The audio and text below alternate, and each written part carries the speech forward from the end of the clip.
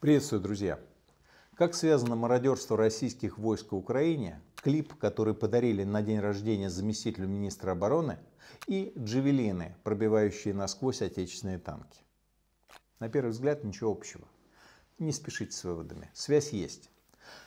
Думаю, многих потрясли кадры с камер наблюдения, на которых российские военные отправляют домой многочисленные посылки с награбленным в Украине. Досье проследил эти отправления и выяснил, кто и куда отправлял украденные стиральные машины, телевизоры, мебель и прочий скарб. Вот снятое 2 апреля в отделении курьерской службы в белорусском городе Мозырь.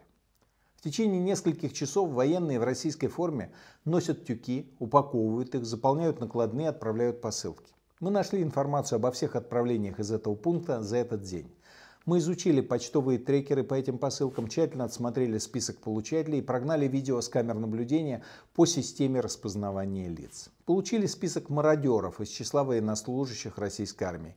Список, конечно, не полный. У нас было видео всего за два часа одного дня и только с одного пункта приема курьерской службы. Масштабы мародерства и грабежа мирных украинских жителей гораздо больше. Вот вы можете видеть, как украденную бытовую технику российская армия пытается вывозить всеми способами, а не только курьерской службой. Так что да, наша информация далеко не полная, но очень показательная. В этот день, 2 апреля, российские мародеры, а язык не поворачивается называть их военными, отправляли посылки преимущественно в город Рубцовск Алтайского края. Чемпионах, в кавычках, конечно, по мародерству, стал Евгений Коваленко. Я, кстати, не смущаясь, прямо называю имена мародеров. Если военные убивают мирных жителей или грабят их дома, они должны быть готовы к тому, что рано или поздно их деанонимизируют и окружающие узнают про их преступления. Так вот, Евгений Евгеньевич Коваленко провел в курьерской службе несколько часов и отправил домой посылки общим весом 440 килограмм. Командир разведвзвода разведроты отправил жене Маргарите в Рубцовск инструменты, музыкальные колонки, стол, палатку и многое другое. Конечно, можно предположить, что лейтенант Коваленко вместо боевых действий занимался шопингом и просто воспользовался выгодным курсом гривны к рублю. Но это слишком фантастическое предположение, как мне кажется. Будем честными. Коваленко в Украине занимался мародерством и отправлял домой награбленное. Коваленко действовал не один. Артем Лазарев отправил в родной Рубцовск посылки весом 256 килограмм, в которых были автозапчасти и электросамокат.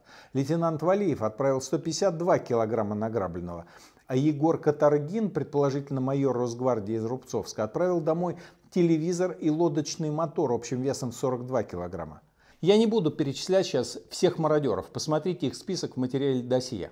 Что объединяет эти истории? Ну, помимо очевидных свидетельств морального разложения российской армии, я уверен, что общее у этих мародеров – это крайняя нищета их родного Рубцовска. Заметьте, в посылках женам не золото-бриллианты, не дорогие часы и не иные предметы роскоши. Нет, обычная бытовая техника, нехитрые инструменты, палатка, Палатка, черт возьми. Сколько стоит палатка? Ну 10 тысяч рублей, ну 15. Что может заставить солдата не спасать свою жизнь, не тащить на себе дополнительный боекомплект, не забирать, наконец, убитых с поля боя, а украсть палатку? Только если эта палатка является роскошью для лейтенанта из Рубцовска.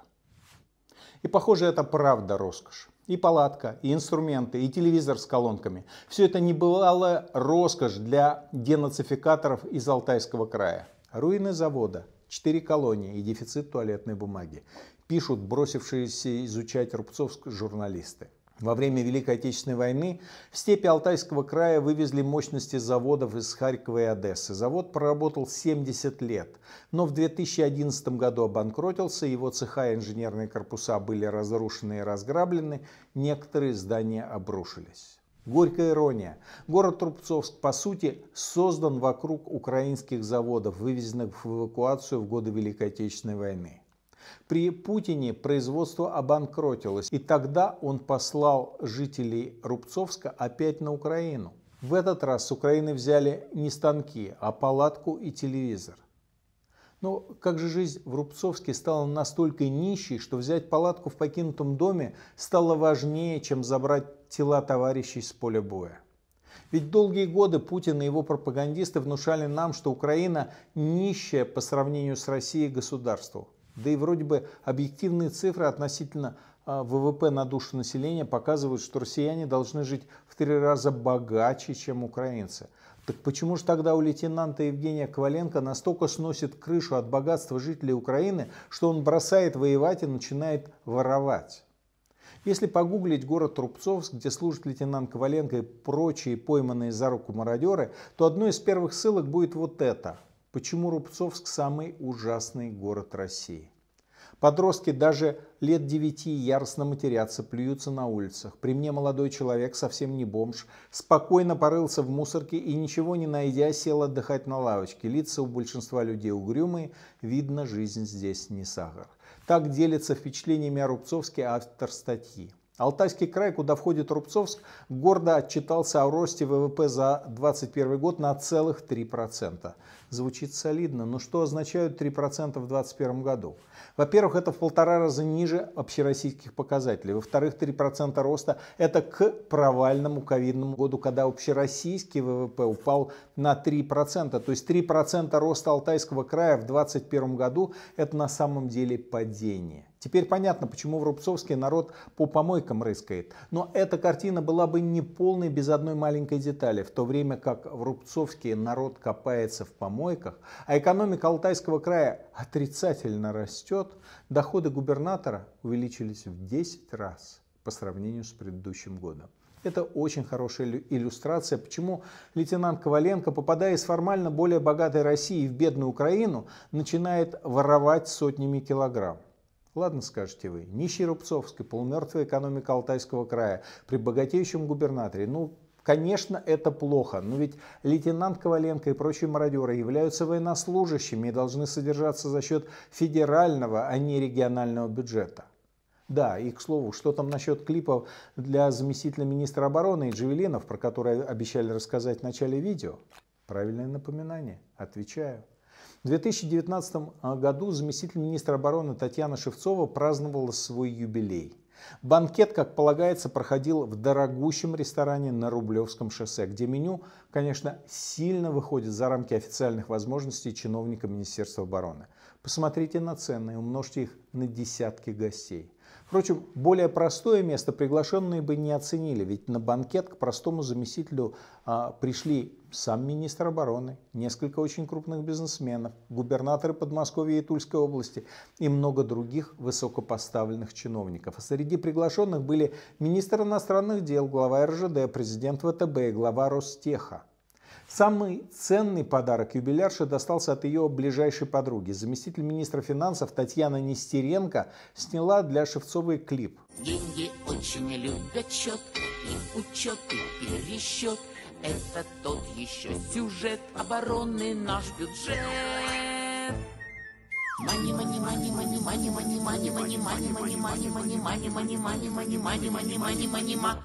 такой вот трогательный капустник, хотя профессионально срежиссированный и снятый. У вас дело не в проворот. Каждый день, круглый год, но противник не пройдет. Скажет о май гад. Этих русских никогда не сломать, не убить. Ведь они на три рубля могут вооружить. Тут надо наконец пояснить, а почему вообще в нашем рассказе появилась госпожа Шевцова? Дело в том, что заместитель министра Татьяна Шевцова отвечает в военном ведомстве за оборонный бюджет. Шевцова распределяет десятки триллионов рублей, выделяемых на перевооружение и оснащение армии.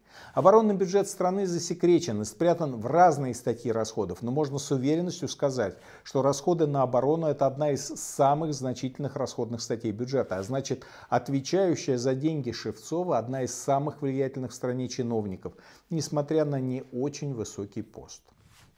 Так вот, как же она распределяет эти деньги? Наверное, самое частое фото с украинской войны – это кадры уничтоженной и сгоревшей российской техники. Большинство из этих танков уничтожены из американских противотанковых гранатометов «Джавелин». Поражающая часть «Джавелина» – это заряд, который направленной кумулятивной струей продавливает и расплавляет броню танка. И, конечно, если существует такое оружие, то есть и защита от него. Современные танки имеют систему динамической защиты. Вы ее видели много раз.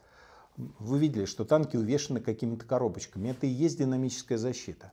Заряд взрывчатки между двумя металлическими пластинами. При попадании кумулятивного снаряда эта защита взрывается э, и отводит или разрушает кумулятивную струю.